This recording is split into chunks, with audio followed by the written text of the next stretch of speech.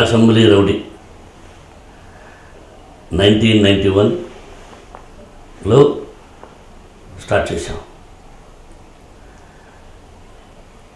అసలు ఎన్నో కష్టాలు కూడా పడ్డాం ఆ సినిమాకు. అంతకుముందు అల్లుడు అంతకుముందు అంతకుముందు వరుడు గారి సినిమా రిలీజ్ అయింది. అది హిట్ అయింది.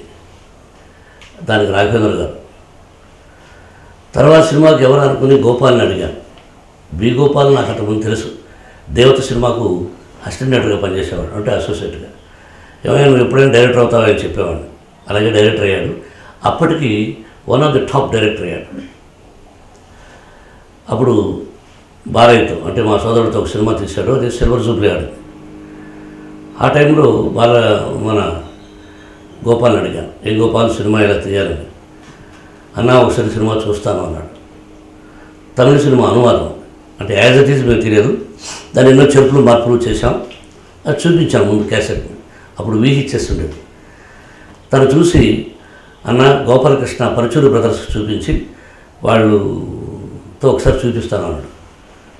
అంటే వాళ్ళు చూసి వాళ్ళు ఓకే అంటేనే సినిమా తీస్తావా? లేకపోతే సినిమా తీవా నువ్వు చేస్తావా చేయవు చెప్పవయ్యా అన్న అన్న చేస్తానన్నా మీరు అలాంటిది ఒకసారి చూపిద్దామన్నా వాళ్ళని పెట్టుకుందామన్నా పిక్చర్ అన్నాడు దాన్ని ఉంది అంటే అప్పుడు వాళ్ళ కోసం ట్రై చేస్తే తణుకులో ఉన్నారు గోపాలకృష్ణ గారు. నా గోపాలకృష్ణ గారితో ఎక్కువ చనువు. చనువు అంటే ఇద్దరితో అగ్రతతో ఉన్నా నాకు గోపాలకృష్ణ గారి డైలాగులు అంటే బాగా ఇష్టం. సమాజంలో జరిగే ఎన్నిటికీ అద్భుతంగా రాస్తుంటాడు. సరే ఫోన్ చేసి ఈవినింగ్ సెవెన్ థర్టీ ఎయిట్కు ఫోన్లు చేసి మొత్తం మీద ఆయన పట్టుకొని సో అగ్రగా ఇలా క్యాసెట్ పంపిస్తున్నాను. ఒకసారి చూసి మీ అభిప్రాయం చెప్పండి. బాగుంటే బాగుంది బాగలేదు బాగలేదు అని చెప్పండి. తీయడమా తీస్తానా లేదన్నది నా ఇష్టం యాజ్ ప్రొడ్యూసర్. అంటే నాకు ఇష్టం లేకుండా తీస్తావా? అని. నా ఇష్టం అని నువ్వు నువ్వు నువ్వు చెప్పింది హిట్ అవ్వదు నేను చెప్పింది హిట్ అవ్వదు. ఒకసారి ఓన్లీ అదృష్టమే. బట్ ఫెయిల్ అయ్యే సినిమా తీయం. కాబట్టి I want to make that movie. But anyway నేను ఒపీనియన్ చెప్పనా? ఆయన సినిమా చూశాడు నెక్స్ట్ డే ఫోన్ చేశాడు. అద్భుతమైన సినిమా. కొంచెం మార్పులు చెరుపులు చేద్దామని నాకు చెప్పాడు బి గోపాల్ చెప్పాడు. బి గోపాల్ మాత్రం నా దగ్గరకు వచ్చి గోపాల్ వచ్చి బి గోపాల్. అలాగైనా సినిమా చేద్దాం అన్నారు. అవునయ్య నాకు కూడా ఫోన్ చేశాడులే అని చెప్పి ఎస్ అప్పుడు ఆఫీస్లో కూర్చున్నాం. అది త్రిమూర్తి స్ట్రీట్ టీ నగర్ మద్రాస్. ఒక ఓల్డ్ బంగళా ఆ బిల్డింగ్ గురించి ముందు చెప్పాలి. Old building. రెంట్కి తీసుకున్నాం. వీధి సోలండి అన్నారు ఒక వ్యక్తి. ఈశాన్యంలో వీధి నేరుగా ఉందన్నారు. ఇక్కడ సినిమాల గురించి చెబుతూ ఒక వాస్తవం గురించి చెప్పాలి. ఆ ఇల్లు ఎప్పుడో నలభై సంవత్సరాల ముందు కట్టారట. ఈశాన్యంలో కిచెన్ ఉంది. ఆగ్నేయంలో ఒక చిన్న బెడ్రూమ్ టెన్ బై టెన్. నైరుతిలో ఫైవ్ బై సిక్స్ ఒక చిన్న గది ఇంకొక చిన్న హాలు ఇంకొక చిన్న రూము. ఇది. అంటే నార్త్లో ఎంట్రై ఈస్ట్ ఫేసింగ్ అనమాట ఏమయ్యా నువ్వు నీ ధైర్యానికి? ఆల్రెడీ సినిమాలు తీసావు కొన్ని ఫ్లాప్ అయినావు ఫ్లాప్ అయినాయి. ఏదో అల్లుడు గారు హిట్ అయింది. మళ్ళీ మంచి ఆఫీస్ తీసుకోకుండా అంటే అల్లుడు గారు ఇక్కడే కదా ఆయన. ఇక్కడ అయింది ఆఫీస్ మార్చుకున్నారు. మార్చలేదు. అదే ఆఫీస్లో కూర్చున్నాం. డిస్కషన్స్ జరిగినాయి. కథలో చెరుపులు మార్పులు జరిగాయి. ఎవరిని పెట్టుకోవాలి? క్యాస్టింగ్ ఇలా అనుకుంటూ ఉండగా మా సినిమా పరిశ్రమ చాలా గొప్పదండి కళామ తల్లి కానీ సమాజంలో చెడు పురుగులు ఉంటూ ఉంటాయి. దోమలు బల్లులు అడవిలో మృగాలు ఎలా ఉంటాయో ఇక్కడ కూడా వాటికంటే కూడా విషసర్పాలు లాంటి మనుషులు ఉంటూ ఉంటారు కొంతమంది. పక్కవాడు బాగుపడితే సహించరు. ఆ గోపాలని చెప్పారు చాలామంది ఉన్నారు ఇప్పుడు ఇండస్ట్రీలో వాళ్ళు ఇటే నువ్వు నెంబర్ వన్ డైరెక్టరు. అదేదో అల్లుడు గారు రాఘవేంద్ర వాళ్ళకి హిట్ అయింది. మళ్ళీ ఇప్పుడు సినిమా తీయడం ఒక్కరి వల్ల హిట్ అవ్వదు. ఎవరి వల్ల హిట్ అవ్వదు. కథ ఆ కథ నడిపించే దర్శకుడు ఆ తర్వాత నటీనటులు. వాళ్ళు కూడా ఉన్నారు. బట్ దర్శకుడికి ఇప్పుడు నేను ప్రథమ స్థానాన్ని ఇస్తాను. ఈజ్ ద క్యాప్టెన్ అంతేగాని ఓన్లీ క్యాప్టెన్ వల్లే సినిమా ఆడేదంటే అవి ఏదో ఉంటాయి కొన్ని. అని నువ్వు చేసేది ఏంటి అన్నాను. అదే వ్యక్తులు నా దగ్గరకు వచ్చి బి గోపాల్తో నువ్వు డైరెక్షన్ అంటే అతను ఇప్పుడు మనకు ఫిల్మ్ ఏమిటంటే మీకు అప్పుడు ఫిల్మ్ ఎలా ఉండేదంటే రోల్స్ ఉండేది thousand feet four hundred feet ఇలాగ. అతను వెయ్యి అడుగులు సినిమా అంటే వంద అడుగు వంద అంటే వంద క్యాన్స్ అంటే ఎన్ని వేల అడుగులు అంటాం. వంద థౌజండ్ ఫీట్ అనుకోండి. అలా ఎక్స్పోజ్ చేస్తారు అతను. అసలు బడ్జెట్ అంటే మామూలు నువ్వేం బడ్జెట్ అంటే కుదరదు అన్నాడు. అంటే నా దగ్గరకు వచ్చి అతని గురించి చెడ్డగా చెప్పారు. అన్న తను పెట్టుకోవద్దని. అతని దగ్గరికి వచ్చి మోహన్ బాబు సినిమా ఎందుకు అని అన్నారు. అయినా నా మీద అతనుకున్న కాన్ఫిడెన్స్ ప్రేమ అలాగే నాకు అతని మీద ఉన్నటువంటి నమ్మకం ఈ రెండు కలిసి స్టార్ట్ చేశాం. అప్పుడు దివ్యభారతి హీరోయిన్ కాబట్టి అంతకుముందు రామారావు గారి సినిమాలు యాక్ట్ చేసింది. ఆ అమ్మాయి గురించి కూడా చెప్పారు. చాలా డేంజర్ అయ్యా ఫస్ట్ పిక్చర్ అయింది నువ్వేమో రెండో పిక్చరు షూటింగ్ అవ్వక నాప్ చేస్తుంది వెళ్ళిపోతుంది నువ్వేమో ఇలా అనుకుంటావని అదొక కథ చెప్పుకొచ్చాను మా తమ్ముడు కృష్ణ. అన్న ఎవరి మాటలు వినేందుకు మనం కావాలనుకున్నాం ఆ అమ్మాయి బాగుంది ఆ అమ్మాయి డేట్స్ ఇస్తే ఓకే అన్నాడు. వేణుగోపాల్ ఓకే అన్నాడు. సరే ఆ అమ్మాయిని సంప్రదించాం. షీ యాక్సెప్టెడ్ వండర్ఫుల్ గైడ్ అసలు ఆ అమ్మాయి బ్రతుకుంటే ఇండియాలో one of the top figure అయి ఉండేది. ఇండియాలోనే గర్వించినటువంటి మహానటి అయి ఉండేది. అందగత్తు కూడా. సరే ఆ అమ్మాయి ఫేటు పోయింది పాపం. సరే అమ్మాయిని సెలెక్ట్ చేశాం. ఇంకా నటీనటులు కావాలి. రావుగోపాలరావు గారిని ఒక క్యారెక్టర్ అడిగాను నన్ను ఎప్పుడూ తమ్ముడు అంటుంటాడు నేనేం అన్నయ్య అంటుంటాను రావుగోపాలరావు గారికి నాకు మంచి చనువు ఉంది. ఆయన అసిస్టెంట్ డైరెక్టర్గా పనిచేస్తున్నప్పటి నుంచి కూడా నేను అసిస్టెంట్ డైరెక్టర్గా పనిచేశాను. రావుగోపాలరావు గారు పనిచేశారు. సరే అడిగితే తమ్ముడు నేను ఆలస్యంగా వస్తాను నీకు కోపం వస్తుంది. ముందు ఒప్పుకున్నారు ఆయన. ఆలస్యంగా వస్తాను ఎందుకు లేదు సినిమా వదిలేసి నన్ను అన్నారు. ఆ తర్వాత ఎవరైనా అనుకుంటే జగ్గయ్య గారు గుర్తొచ్చారు నాకు. నేను జగ్గయ్య గారు కూడా అన్నగా భావిస్తాను. మాకు ఎంతో ఫ్యామిలీ బంధుత్వం ఉంది. ఆయనకు ఫోన్ చేశాను. జగ్గయ్య గారితో సినిమా తీయాలంటే ఆయన ఇంటికి వెళ్ళాలి ఎప్పుడున్నారో కనుక్కొని ఆయన అపాయింట్మెంట్ తీసుకొని ఆయనకు దర్శకుడు రైటరు కథ చెప్పి ఆయనకు ఓకే అయితే ఓకే. నా చదువు ఇటువంటిదంటే ఫోన్ చేశాను. అనయ్య సినిమా ఒకటి ఉంది చేయాలి మీరు అని. ఏంట్రా అందరూ వద్దనుకున్నారు నా దగ్గరికి వస్తున్నావా అన్నాడు ఆయన. అప్పుడే తెలిసిపోయినారు. అందరూ వద్దనుకోవడం కాదు. సరే లేదులే అన్నయ్య మీరు సినిమా చూడండి అని చెప్తే జగ్గయ్య గారు సినిమా చూశారు. ఓకే ఓకే అన్నారు. కంటిన్యూ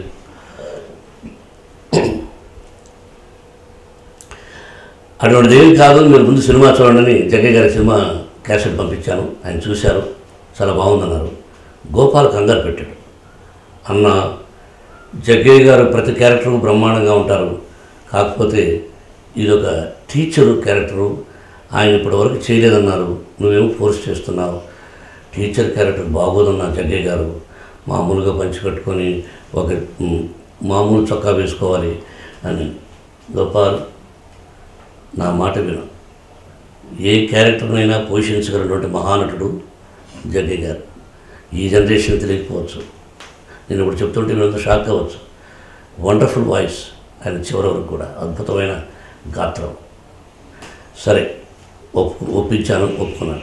ఆ తర్వాత మదర్ క్యారెక్టర్ అంటే నాకు తల్లి అన్నపూర్ణ. అన్నపూర్ణ మీరు చూస్తున్నారు చూస్తున్నారు కూడా నాకు హీరోయిన్ యాక్ట్ చేసింది తను. నైన్టీన్ సెవెంటీ ఫైవ్ స్వర్గం నరకంలో షీ వాజ్ మై హీరోయిన్ చందనపు బొమ్మలా ఉండేది. ఇప్పుడు లావెక్కింది కానీ వయసు అయ్యి బంగారు ఎంత కలర్ ఉంటుందో అంత కలర్. ఇన్ని సంవత్సరాల తర్వాత కూడా చెప్తున్నానంటే వాస్తవం. అసహ్యంగా ఉంటే చెప్పుకోవాల్సిన అవసరం లేదు. అంత చక్కగా ఉండేది. తను హీరోయిన్ నాకు. ఆ తర్వాత మదర్ క్యారెక్టర్ ఏం గొప్ప బాగుంటుందని అన్నారు. ఏమైనా చూస్తారా జనం అంటే మీరు పెట్టాను నాన్న. అలాగా అనుపూర్ణ గారిని అనుపూర్ణను పెట్టాను. అందులో భాష అనే క్యారెక్టర్ ఉందండి. తమిళ్ళో అతను జూనియర్ ఆర్టిస్ట్గా యాక్ట్ చేశాడు ఆ సినిమా ఒరిజినల్ సినిమాలో. గోపాల్ చాలా బాగుంటాడు అన్న అన్న మెయిన్ వేషం అన్న భాష అంటే వాడు విలన్ అన్న ఆ క్యారెక్టర్ మీరు కూడా విలన్ పాత్రలు ఎన్నో వేశారు. అటు హీరోకు ధీటుగా ఉండాలన్న సినిమా అసలు ఏంటి మీరు? అన్నీ ఏంటిగా చేస్తున్నారు? సినిమా స్పాయిల్ అయిపోతాను గోపాల్ నా మాట విను నువ్వు అని ఆయన తీసుకువచ్చి మెయిన్ విలన్ క్యారెక్టర్ ఇచ్చారు. భాష. షాక్ అందరూ. ఇక తర్వాత సత్యనారాయణ గారు ఇక చాలామంది ఉన్నారు పిక్చర్లో కంటిన్యూ చేయి. చాలామంది ఉన్నారు. అలా టెక్నీషియన్ నటీనటులందరూ పూర్తయ్యారు. టెక్నీషియన్స్ కేఎస్ ప్రకాష్ రాఘవేంద్ర గారి బ్రదరు. నాకు ప్రాణం. ఇప్పుడు లేడు. అతన్ని పెట్టాం. అప్పట్లో పరిగెత్తున అంటే మామూలు పరిగెత్తున కాదు. కేవీ మహాదేవన్ గారు మ్యూజిక్ డైరెక్టర్.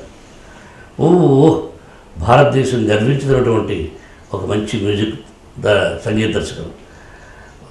ఆయన పోయి అడిగాను. బాగా పరిచయం నాకు. ఓకేరా అలాగే. అరుడు గారు చేసింది ఆయనే. అలాగే చేస్తానని చెప్పేసి ఆయన ఒప్పుకున్నారు. ఆ విధంగా సాంకేతిక నిపుణులు అంటే టెక్నీషియన్స్ నటినట్లు అలా కుదిరారు. సినిమా ఎక్కడ తీయాలి? వేణుగోపాల్ ఏంటి అన్న ఏం చేద్దామన్నా? ఎక్కడ ఎక్కడ అనుకున్న తర్వాత గోపాల్ పాకాలని ఒక విలేజ్ ఉంది చిత్తూరు జిల్లాలో. చాలా కరెక్ట్గా ఉంటుంది అంటే ఒకసారి చూద్దాం. అందరం వెళ్ళాం పాకాలకు అంటే అది చిత్తూరు జిల్లా.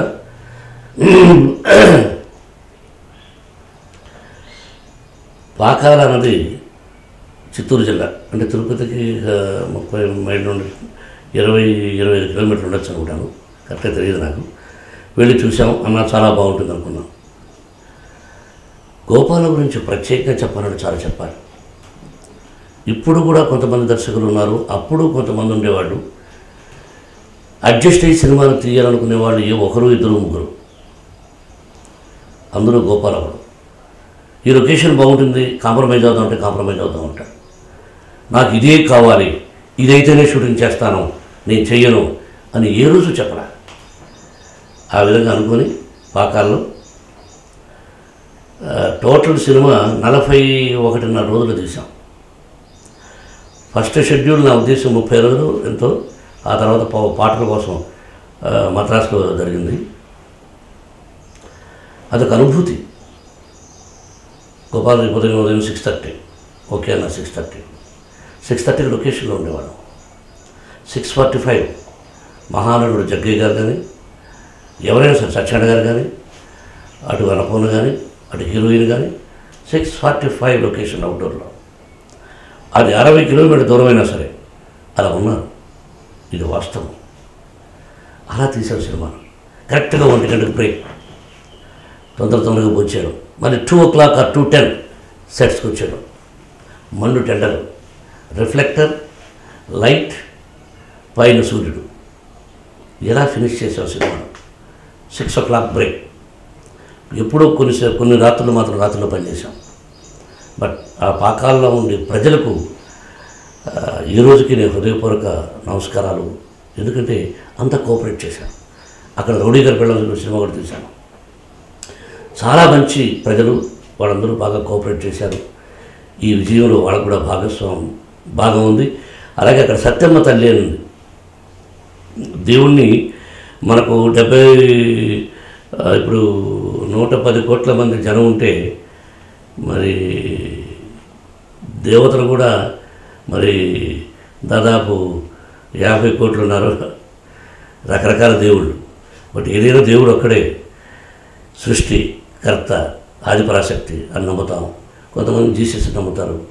కొంతమంది అల్లా నమ్ముతారు. ఎవరు నమ్మకం వాడదు మనం హిందువులు కాబట్టి ఓన్లీ ఆత్మ అంతరాత్మ పరమాత్మ లాగా ఆదిపరాశక్తి శక్తి స్వరూపుడి. కానీ ఎన్నో రూపాలుగా బ్రహ్మ విష్ణు మహేశ్వరుని సరస్వతి లక్ష్మి పార్వతిని ఇంకా ఎన్నో అంకాళమ్మని చెంగాళమ్మని భగీ భగీరథి భగవతి తల్లిని మోకాంబికని రాజరాజేశ్వరిని దుర్గాదేవిని రకరకాల పేర్లు. అలాగే సత్యమ్మ తల్లిని ఆ ఊళ్ళో ఒక రాయి ఆ రాయికి బొట్టు పెడతారు. ఒక చెట్టు కింద మర్రి చెట్టు కింద. అక్కడే కొబ్బరికాయ కొట్టాను ఫస్ట్ డే. అలాగే సినిమాలు తీశాను. అక్కడే వెళ్ళి కొబ్బరికాయ కొట్టాను. ఆ మహాతల్లి ఆశీస్సులు ఇలా ప్రజల ఆశీస్సులు ఆ విధంగా పిక్చర్ స్టార్ట్ చేసి ఉన్న హౌస్లో నేను వాళ్ళ మీద రిక్వెస్ట్ చేయడం ఒక రూపాయి తీసుకునేది ఎవరు? ఏమండి ఎంత ఇస్తారు మా ఇంటికి అడగలేదు. ఆ విధంగా చాలామంది కోఆపరేట్ చేశారు. ఆ విధంగా సినిమా తీసాం అద్భుతమైన విజయాన్ని సాధించింది. దానిలోనే చిన్న గొడవలు జరిగాయి హీరోయిన్కి నాకు. అమ్మాయి పోయింది కాబట్టి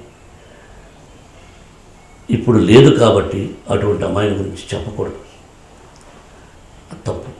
ఆ అమ్మాయి ఉండుంటే చెప్పు ఉండేవాడిని చిన్న మనసు కష్టమైన చివరిలో జరిగింది. మళ్ళీ అడ్జస్ట్ అయ్యి ఆ అమ్మాయి నేను తెలుగులో చాలా పిక్చర్లు యాక్ట్ చేసింది దివ్యభారతి మళ్ళీ నేను మోహన్ బాబు గారితో నేను చేస్తానని చెప్పి చిట్టమ్మ మొగుడు రెండు సినిమా చేసింది. She's a wonderful heroine wonderful girl ఆ అమ్మాయి ఎక్కడున్నా ఆ అమ్మాయి ఆత్మకు శాంతి చేకూరాలని కోరుకుంటున్నాను. ఈ విధంగా పిక్చర్ అంతా తీసాము ఇంకో విషయం చెప్పడం మర్చిపోయాను. రాఘవేంద్రరావు సోదరుడు అరుడు గారి సినిమా తీశాను ఆయన తీశారు మా బ్యానర్లో సినిమా సూపర్ హిట్ అయింది. ఆయన మాట్లాడిగాను మాట అడిగాను సోదరా మీ బ్యానర్లో ఎంతోమంది హీరోలతో తీశావు నిర్మాతగా. ఒక్కటి హిట్ లేదు. నాకు నీకంటే ముందు నా బ్యానర్లో హిట్ కూడా ఉంది. నేను పడిపోయిన వాడిని మళ్ళీ లేపావు ఇప్పుడు అల్లుడు గారికి. ఈ సినిమా చూడు అసెంబ్లీ రోడ్డు అంటే పేరు పెట్టలేప్పుడు తమిళ సినిమా చూడు. బాగుంటే నీకు నచ్చితే నీ బ్యానర్లో చేస్తాను అన్నాను. సినిమా చూసి నాకు పెద్దగా అనిపించలేదు. నేను వద్దులే. నువ్వు తీయి ఇది బాగానే ఉంటుంది బట్ నాకు ఎందుకు ఎక్కలేదు అన్నాడు. అంటే రాఘవేంద్ర కూడా ఈ సినిమాని చూసి ఓహో అన్నాడు సరే ఏదైతే స్టార్ట్ చేసాం గోపాల్ ఒప్పుకున్నాడు. ఆ విధంగా సినిమా తీసి ఒక మంచి రోజున రిలీజ్ చేశాం. సినిమా పూర్తి చేశాం. బాగానే ఉంది. రిలీజ్ చేయాలి. బయ్యర్స్ వచ్చారు కొన్నారు అది కూడా బాగానే ఉంది. అసలు విషయం ఏంటంటే ఇంకో విషయం చెప్పడం మర్చిపోయాను. తిరుచానూరులో షూటింగ్ జరుగుతుంది క్లైమాక్స్. అప్పుడేమో అన్నగారి ప్రభుత్వం తెలుగుదేశం అంటే మా ప్రభుత్వం ఉండేది. నేను తెలుగుదేశమేగా మొదట ఈ రోజున ఏ పార్టీలో లేను ప్రస్తుతానికి. నెక్స్ట్ మంత్ తెలుస్తుంది మీకు లేదా వన్ ఇయర్ తర్వాత తెలుస్తుంది అసలు నేను పార్టీలో చేరాలా లేదా అనేది పార్టీ అనేది. అది ఇప్పుడు అప్రస్తుతం. అసెంబ్లీలోని విశేషాల గురించి మాట్లాడుకోవాలి. అన్నగారి ప్రభుత్వం తెలుగుదేశం అన్నగారు ముఖ్యమంత్రి. తిరుచానూరులో షూటింగ్ తిరుపతి దగ్గర. క్లైమాక్స్లో మంచి పవర్ఫుల్ డైలాగ్స్ చెప్తుంటే ఒకడు గబక్కన ఏడా గబక్కన దూరేశారు ఒక ఐదు మంది. ఏంటి? కాంగ్రెస్ గవర్నమెంట్ డైలాగ్ లాగా ఉన్నాయన్నాడు. అందరూ కంగారు పడ్డారు షూటింగ్ ఆగింది? నేను అడిగా ఏమయ్యా? కాంగ్రెస్ అనే పదం అనలేదు డైలాగ్ చెప్తున్నాను. నువ్వు నీకు సంబంధం ఏమిటి? రోడ్డు పర్మిషన్ తీసుకున్నాం పోలీస్ పర్మిషను గ్రామ పర్ పర్మిషను పంచాయతీలు అన్నీ ఉన్నాయి. ఏం షూటింగ్ మధ్యలో దూరేడతాం ఏ ఇది ఎన్ని అంటున్నాడు? కాదయ్యా సినిమా వేరు రాజకీయం వేరు. నా మాట వినంటే రౌడీని చేశాడు.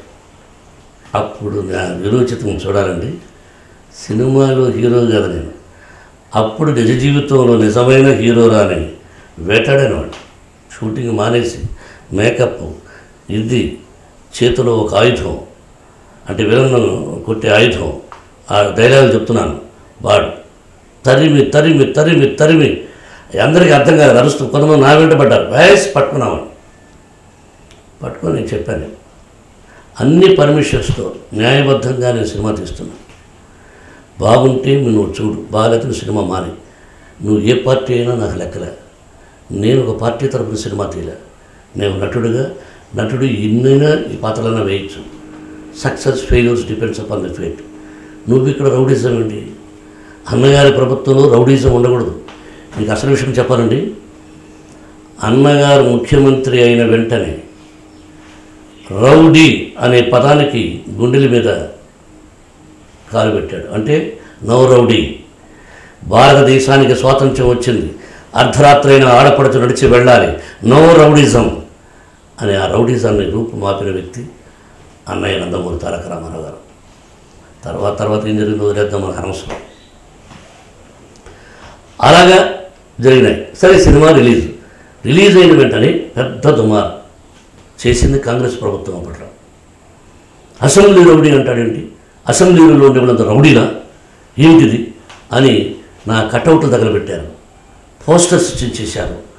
చాలామంది వాళ్ళందరూ ఇప్పుడు ఉన్నారు నాకు తెలిసిన వాళ్ళు కొంతమంది కాంగ్రెస్లోనే ఉన్నారు ఆత్మీయులు అందరూ ఏమైనా వాళ్ళు ఏమైనా వాళ్ళందరూ చేసి బ్యాన్ చేయాలి డామ్ డూ అన్నారు. చాలామంది వెళ్ళి రోసయ్య గారు నాకు పట్టుకొని చెప్పారు ఆయన థియేటర్కి వెళ్ళి చూశారట. గీతారెడ్డి గారి సినిమా వెళ్ళి చూశారట. అలా చాలామంది థియేటర్కి వెళ్ళి ఏముంది ఈ సినిమాలు అని చూశారట. అందరూ పరిచయం ఇప్పుడు ఆత్మీయులే. కానీ ఏముంది ఏముందని ఎందుకంటే ఇక్కడ ఆంధ్ర తెలుగుదేశం కాంగ్రెస్ ఏమిటి? అసెంబ్లీ రౌడీ అంటాడు ఆయన. అసెంబ్లీలో రౌడీ అనే సినిమా టైటిల్ అని అప్పుడు ఒక అనస అన్నగారు క్లిప్ నా క్లిప్పింగ్ నా దగ్గర ఉంది. ఏమది బ్రదర్ సినిమా తీశారు అసెంబ్లీ రౌడీ అని? దానిలో పాత్ర పాత్ర స్వభావం మేము ఎన్నో సినిమాలు చేశాం. అలా చేస్తే దాన్ని దుమ్మారం లేపారు అసెంబ్లీలో. ఏం మనమంతా ఇప్పుడు ఉన్నవాడు మన పద్ధతులమా అని అడిగాను నేను అన్నాడు. ఒక మహానటుడు. అలా అన్నాడంటే ఐ హ్యావ్ క్యాసెట్ అన్నగారి క్యాసెట్ రౌడీ గారి పెళ్ళడానికి అన్నగారిని పిలిచాను క్యాసెట్ ఓపెనింగ్కి దాంట్లో మాట్లాడిన డైలాగ్స్ ఉన్నాయి. కాబట్టి అక్కడ మళ్ళా సంచలనం.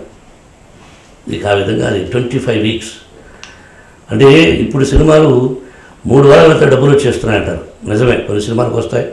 కొన్ని రాకపోయినా అసత్యాలు చెప్తుంటారు. ఆ పదం కూడా మనకొద్దు. ఇరవై ఐదు వారాలు ఒక థియేటర్లో ఆడుతుంది సినిమా అంటే ఒక థియేటర్ కాదు. అది యాభై థియేటర్లు. ఒకసారి అరవై థియేటర్లో. ఇరవై థియేటర్లో. ఇరవై ఐదు వారాలు ఆడిన చిత్రాలు నావి చాలా చాలా ఉన్నాయి. చాలామంది హీరోలు కూడా ఉన్నాయి. అలాగే ఇరవై ఐదు వారాలు ఆడిన చిత్రం assembly rowdy. The screenplay. The dialogues. Dialogue ఎలా ఉండాలని రాశాడు పరచూరి బ్రదర్స్. దాన్ని పరాకాష్ఠ తీసుకెళ్ళారు. వాళ్ళు నా నాకు డైలాగ్ చెప్పించే విధానంలో ఈ డైలాగ్ని ఎలా చెప్పాలి? అరిస్తే తెరుస్తా తెరిస్తే కరుస్తా కరిస్తే నిన్ను కూడా బొక్కలో వేస్తా. హే ఆగరా. ఇటువంటి అసలు పవర్ఫుల్ మనిషి గుండెలు దూచిపోయే డైలాగ్స్ ఇచ్చింది ఇవ్వడం అదే సత్యానికి తెలిసి ఉంది. ఇచ్చింది ఇవ్వడం అనేది ఇచ్చింది తిరిగి ఇవ్వడం అలవాట్లేదు దానికి వడ్డీ ఇస్తానని చెప్పి ఒక వెంట్రుక తీసి దానిలో పెట్టి అని ఇచ్చాడు. అతను ఎమ్మెల్యేలు కొనాలని వస్తాయి ఎమ్మెల్యేలు కొనాలని వచ్చాడు అతను. ఐదు లక్షలు ఇస్తాను. లేకపోతే మా నాన్న ఏదో చేస్తాన్నాడు అది క్యారెక్టర్ ఇప్పుడే చూస్తున్నారు. అప్పుడు తీసిన సినిమాని ఇప్పుడు చూస్తున్నారు. ప్రజల్లో అప్పుడు ఎలా రెవల్యూషన్ వచ్చిందో ఆ సినిమాలో ఆ విధంగా రెవల్యూషన్ వస్తే తప్ప ఎంతండి పోలింగ్? యాభై శాతం అరవై శాతం పోలింగ్ అయిన వాళ్ళు మన రాజ్యాంగాన్ని మన రాష్ట్రాన్ని దేశాన్ని పరిపాలిస్తున్నారు. ఈ డైలాగులన్నీ పొలిటికల్ డైలాగులు ఉన్నాయి. కాబట్టి ఒక పవర్ఫుల్ డైలాగ్స్ ఎమ్మెల్యే అంటే ఏంటి? ఎం అంటే మంచిది. ఎల్ అంటే లాభం చూసుకోకుండా ఏ అంటే అందరికీ పనిచేయబడమే ఇప్పుడు అప్పుడు ఎం అంటే మర్డర్స్ ఎల్ అంటే లూటీస్ ఏ అంటే సంథింగ్ ఏదో ఉంది. అలా. అలా ఎమ్మెల్యే. అటువంటి వాళ్ళు ఎక్కువ ఉన్నారు. ఇలా జరిగిన ఎమ్మెల్యే అన్నారు ఇండిపెండెంట్. ఆ విధంగా చేసి అన్నాను ఇండిపెండెంట్ని. నేను ఎవరికి భయపడే వ్యక్తిని కాదు ఉన్నది ఉన్నట్టు మాట్లాడేవాడిని తప్పు చేసిన వాడిని తోలు ఉరుస్తా తుప్పు ఏదో అంటే సంథింగ్ పవర్ఫుల్ డైలాగ్స్ ఆ విధంగా ఆ సినిమా అన్ని రకాలుగా గొడవలు అది ఇది జరిగింది. ఫైనల్గా నేను అసెంబ్లీ రౌడీ గారు పెళ్ళామని నిజాం గ్రౌండ్స్లో ఫంక్షన్ చేశాను. నాకు చాలా ఉందండి హిస్టరీ ఒక్కొక్క హిస్టరీ చెప్పాలంటే. ప్రస్తుతానికి అసెంబ్లీ రౌడీ గురించి సినిమా చెప్పుకోవాలి. అసెంబ్లీ రౌడీకి రౌడీ గారి పెళ్ళానికి ఏంట్రా అంటే రౌడీ గారి పెళ్ళాం దర్శకుడు కేఎస్ ప్రకాష్ దాని కెమెరామెన్ అసెంబ్లీ రౌడీ. అన్నయ్య అన్నయ్య అన్నయ్య అన్నయ్య ఫంక్షన్ రావాలి అన్న. అప్పట్లో కాంగ్రెస్ ప్రభుత్వం అని బ్రదర్ మనం ఒక సపరేట్గా వస్తాం. మీకు చెప్పాలనుంది.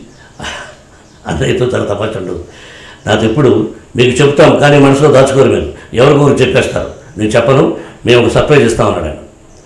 ఈ అన్నయ్య సర్ప్రైజ్ ఇచ్చిండ్రా బాబు అని భయపడ్డాం రాఘవేంద్ర నేను.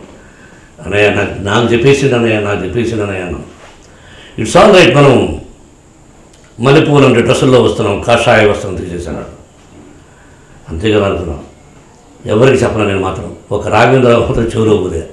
నిజమా అన్నాడు నిజమా అన్నాడు సరే ఆయన బస్సులో వచ్చారు. ఆ బస్సులో నుంచి దిగారు. చూస్తే అసలు ఆ తెల్లటి దుస్తుల్లో అంతవరకు కాషాయంలో చూసిన వ్యక్తి తెల్లటి దుస్తుల్లో ఆయన చూస్తే ఆ రూపం ఆ ముఖ వర్చస్సు హెడ్స అలా వచ్చి ఆ ఫంక్షన్ అద్భుతంగా జరిగింది.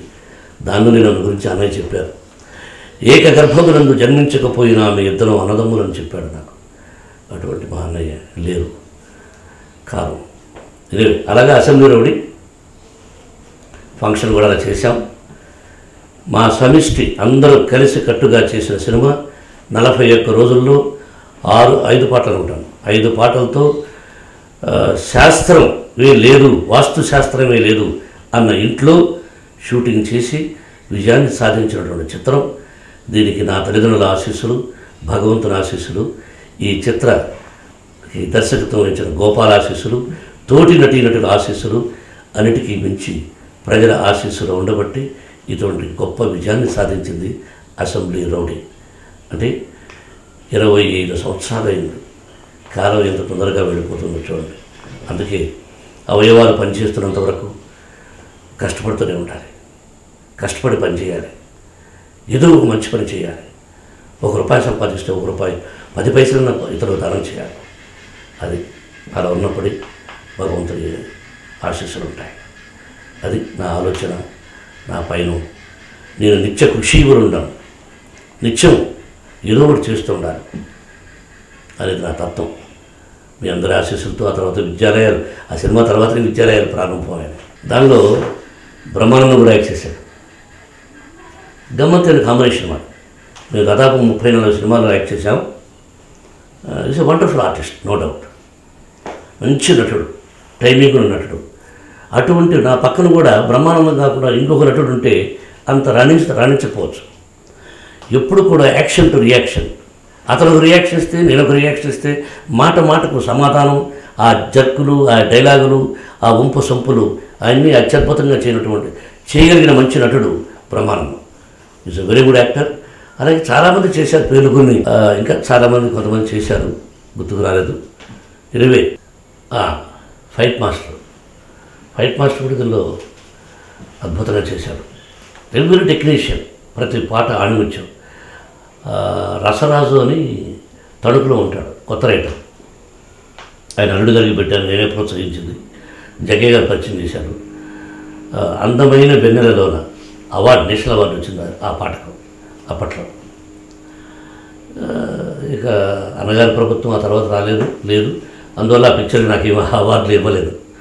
అవార్డులు ఎవరికి కావాలి? సినిమా తీస్తే మంచి పేరు రావాలి డబ్బు రావాలి. తీసిన దానికి ఫలితం దక్కాలి. మనం పైరు పెట్టినా తుఫాను వచ్చి కొట్టుకుపోకుండా ఏదైనా నష్టం జరగకుండా మనం పెట్టిన రూపాయికి పది రూపాయలు వస్తే ఆ రైతు ఆనందపడతాడు. అలాగే ఇక్కడ వ్యాపారం. నేను నిర్మాత. శ్రీలక్ష్మీ ప్రసన్న పిక్చర్స్. మరి తీసాం విజయాన్ని సాధించింది నా రూపాయలు ఇచ్చింది ఆ ఫంక్షన్లో నేను చాలామందికి అసోసియేషన్స్కి డబ్బులు ఇచ్చాను కూడా నేను. చాలామంది రెడ్ క్రాస్ చాలామందికి ఆయన్ని చేసిన దానాన్ని గురించి మనం చెప్పుకోవడం గొప్ప కాదు నేను గొప్పవాడిని కాదు. నాకున్న దానిలో ఇవ్వగలిగాను. వర్షాకాలం లాంటి దాన్ని కురిసేది రెండు నెలలైనా పంట సంవత్సరం అంతా వస్తుంది. బురద మాత్రం వెంటనే వస్తుంది.